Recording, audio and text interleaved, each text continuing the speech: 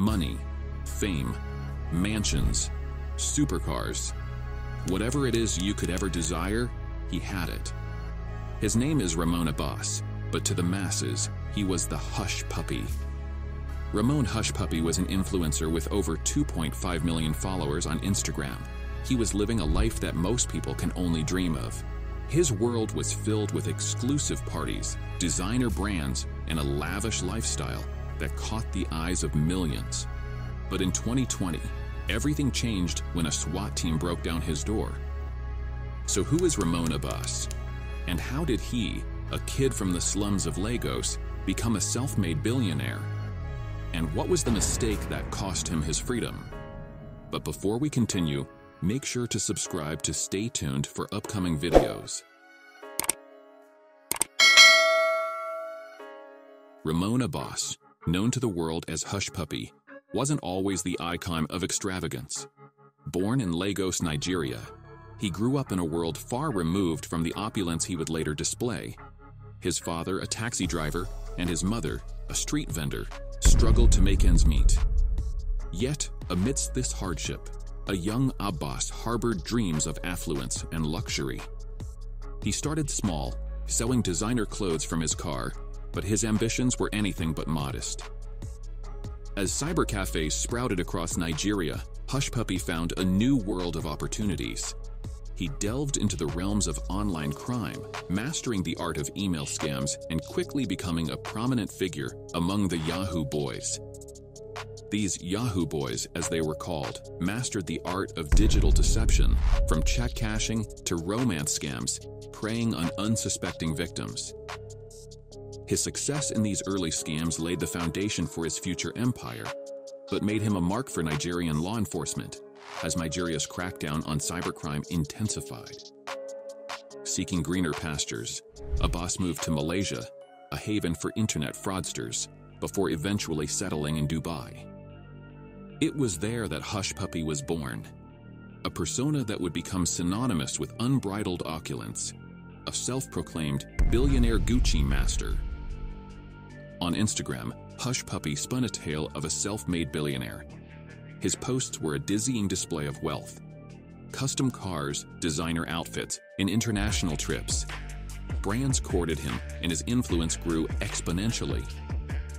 But beneath the veneer of success lay a murky world of crime.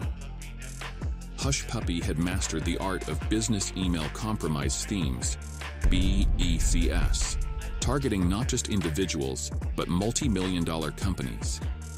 He was a kingpin in a hidden realm where huge sums of money changed hands through deceit and manipulation.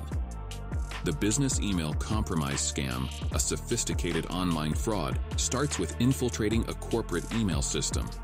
Scammers employ various tactics, like phishing or exploiting weak security protocols to gain unauthorized access to company email accounts. Once inside, they play the waiting game, meticulously observing email traffic until a significant financial transaction is initiated. When a large invoice is issued, the scammer seizes the opportunity. They either intercept and alter the invoice, substituting the bank details with their own, or they impersonate the sender by creating a nearly identical email address. In some cases, they communicate directly with the recipient, feigning a legitimate reason for changing their previously provided bank account details. The deception doesn't end there. To lend credibility to their fraudulent activities, these scammers often set up elaborate facades, including counterfeit websites, bogus businesses, and even fake customer service hotlines. These elements are meticulously crafted to pass off as legitimate, successfully duping people conducting due diligence or security checks. Once the unwary victim transfers money to the altered account, the scammers act quickly. The funds are immediately dispersed across various mule accounts, converted into cryptocurrencies like Bitcoin, or used to purchase tangible assets such as jewelry or gold. This rapid movement and diversification of the stolen funds serve a dual purpose. It effectively launders the money, making it harder to trace, and it also hinders the victim's ability to reclaim their lost funds, often leaving them with little to no recourse. As Hushpuppi flaunted his newfound wealth, he gained a massive following on social media, reaching up to 2.8 million followers at its height. As you can imagine, his social media content featured luxury cars, private jet escapades, and extravagant luxury brands shopping sprees. Back in his homeland, he was more than just an influencer, he was an icon. His fame not only brought him admiration, but also luxurious perks, like being showered with high-end brand gifts from designer clothes to VIP trips to Paris. Fendi, recognizing his influence, extended exclusive dining invitations among the creme de la creme of society. In one notable event, the Versace store in Kuala Lumpur honored Hushpuppi and fellow Instagram star Samson Oyokunle for their loyalty with lavish gifts, a gesture that Hushpuppi proudly broadcasted to his followers, celebrating with a lavish $20,000 shopping spree. His circle expanded to include other influencers like Ismaila Mustapha, better known as Mompha. Together, they flaunted their opulent lifestyle and high-end fashion, even catching the attention of the music world as they were referenced in the song Living Things by 9ice.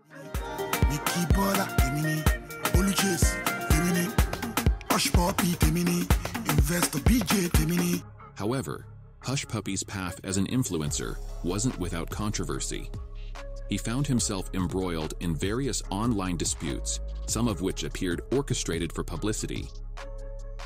However, not every confrontation Hushpuppi faced was trivial or without serious implications. His lavish lifestyle and bold accusations against others often brought him dangerously close to being unmasked. A notable incident occurred when he called out rapper Fino for allegedly sporting counterfeit watches. This accusation triggered a response from singer Tay C, who publicly questioned Hushpuppi's credibility and the source of his wealth. KC's post was direct and challenging.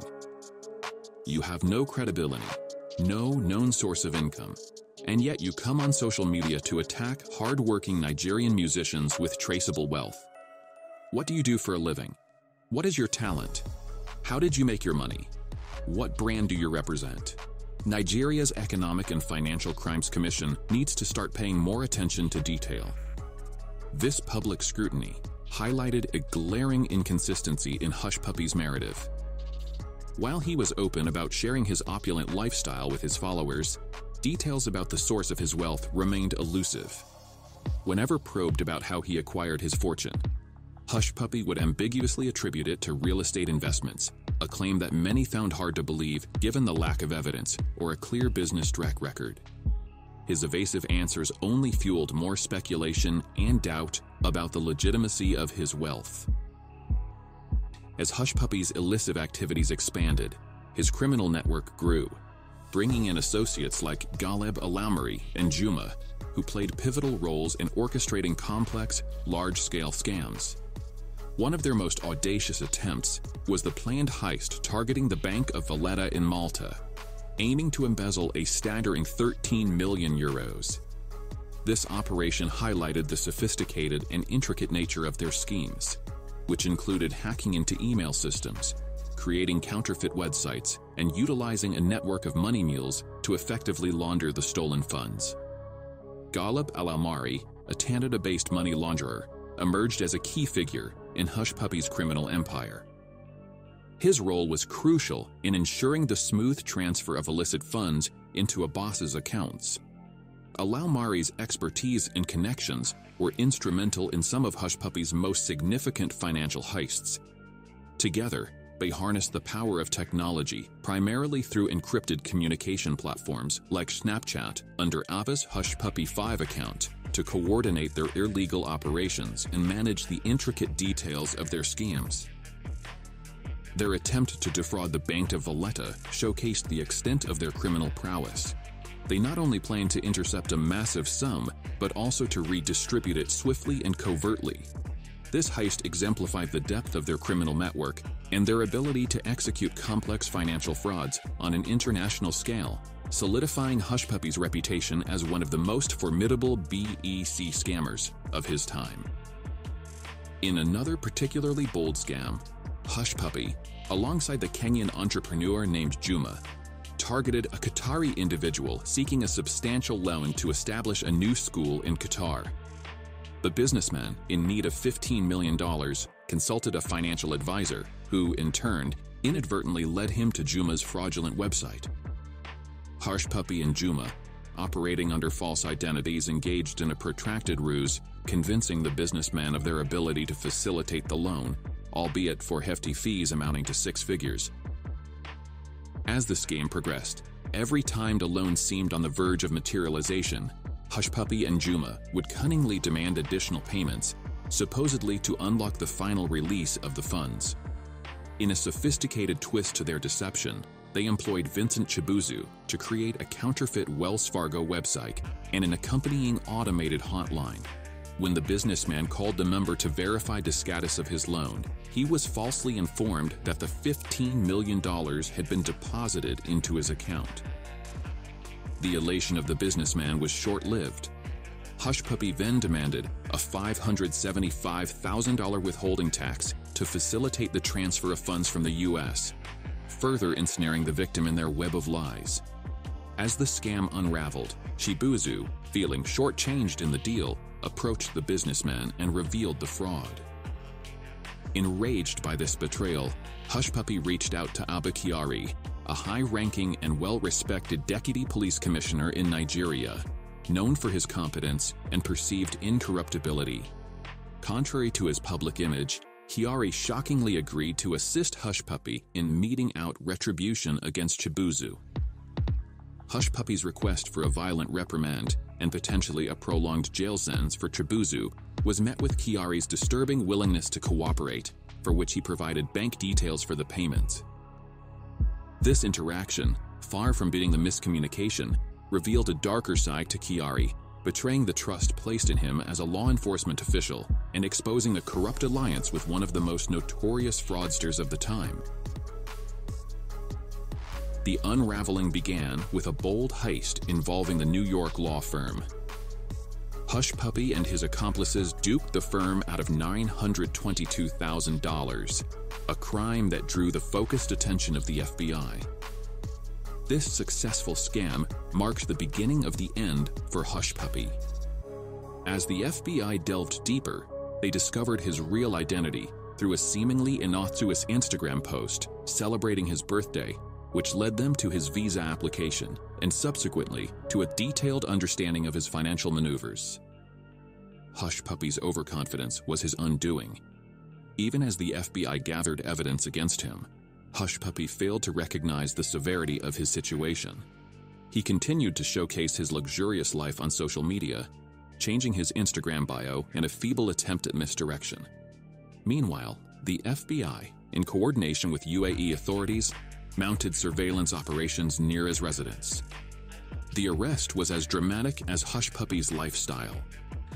On June 8, 2020, while he was asleep, his apartment was stormed by Dubai authorities. The scale of his criminal enterprise became glaringly evident with the seizure of numerous phones, laptops, luxury cars, a substantial amount of cash, and the contact details of 2 million potential victims. Hushpuppi's arrest sent shockwaves through social media, particularly among his 2.8 million followers who had been captivated by his extravagant displays of wealth. The reality was far grimmer than the glamorous life he portrayed. The man who once posed with luxury brands and expensive cars was now facing a long sentence in federal prison, a stark reminder of the fine line between social media fame and the consequences of criminal actions. The arrest was a moment of reckoning in the world of cybercrime. As he landed in the United States on July 3, 2020, the charges against him were staggering. He was accused of conspiring to launder an astronomical sum of money, literally hundreds of millions of dollars. The affidavit presented a detailed account of Abbas's involvement in laundering funds intended for theft through sophisticated and fraudulent wire transfers. Ramon's trial in Chicago was a sobering moment. Pleading guilty to his crimes of fraud, which amounts to more than $24 million, he was sentenced to over a decade in prison. The billionaire Gucci master's story ended not with a celebration of luxury, but in the courtroom, facing the consequences of his actions. Hushpuppi's saga is a modern-day cautionary tale about the perils of greed and deception. It serves as a stark reminder of the fine line between reality and illusion in our digital world. His story warns us about the consequences of living a life built on lies. This has been a journey into the heart of a digital enigma. Thank you for watching, and stay tuned for more stories that explore the complex tapestry of human nature and the digital world we inhabit.